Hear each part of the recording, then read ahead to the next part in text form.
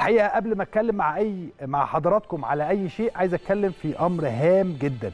امبارح تابعت الحقيقة تصريحات كابتن محمد عبد الجليل المدير الفني لنادي مصر المقصه على قناة تن أعتقد.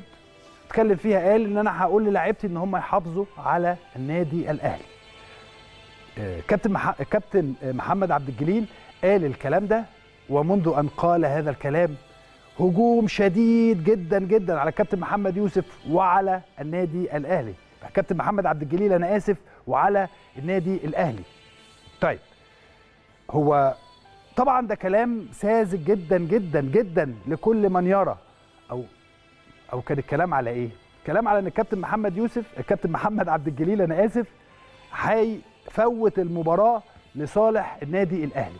تخيل حضرتك النادي الأهلي صاحب ال 42 بطولة دوري عام صاحب تسع تسع بطولات أفريقيا صاحب شوف كم بطولة كاس النادي الأهلي عملها أو فاز بيها.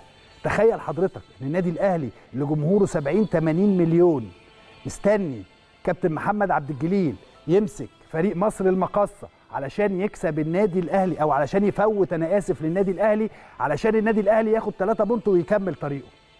تخيل يا عاقل أي حد عاقل يتخيل الكلام اللي أنا بتكلمه مع حضراتكم ده.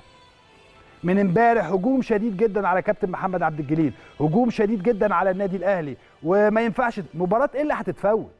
هو النادي الأهلي ينتظر أنا آسف جدا مصر المقاصه فريق كبير جدا ومن أعرق وأهم الفرق في الدوري المصري ولكن هو النادي الأهلي هينتظر الثلاث نقاط بتوع مصر المقاصه بالمناسبة الطبيعي الطبيعي إن النادي الأهلي يكسب مصر المقاصه ده الطبيعي ده الشيء الطبيعي. يعني لما تيجي تبص على نتائج مباريات مصر المقاصة مع النادي الأهلي منذ أن صعد مصر المقاصة من الدرجة الثانية للممتاز هتلاقي النادي الأهلي كاسب 90 95 99% من الماتشات. فالطبيعي إن النادي الأهلي يكسب مصر المقاصة ولكن الغير الطبيعي إن النادي الأهلي يتعادل أو لا قدر الله يخسر من من مصر المقاصة. فاللي بيتكلم الكلام ده هو كلام ساذج جدا ما ينفعش حضرتك ده واحد صاحب نظرية مؤامرة. يعني إيه؟ يعني واحد بيفكر إزاي أتكلم عن النادي الأهلي وإزاي أتكلم عن أو أهز الاستقرار اللي موجود في النادي الأهلي ولكن ده مش هيحصل ابدا طول ما جمهور النادي الأهلي متواجد. حضرتك هل اتكلمت عن مبادئ النادي الأهلي عن أخلاق النادي الأهلي؟ طب بالكلام هو أنت بت... الكلام اللي أنت بتقوله ده إسلام مجرد كلام وخلاص؟ لا. خلينا أفكر حضراتكم بآخر دوري خدوا فريق آخر غير النادي الأهلي. 2014 ده موقف تاريخي حقيقي حصل. مسجل في سجلات اتحاد كرة القدم. مش أنا طالع أقول كلمتين وخلاص لمجرد إن أنا أضحك على عقول بعض الشباب. يا جماعة خلينا نفهم وخلينا نروح دائما الكلمة اللي إحنا بنقولها دايما.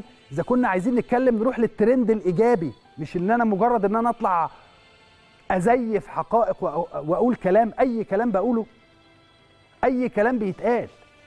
يعني إيه فوت مباراة؟ يا جماعة الكلام ده يمس سمعة ناس. عيب. الكلام ده عيب. ما ينفعش يتقال. إحنا أكبر من كده. النادي الأهلي أكبر من كده بكتير جدا.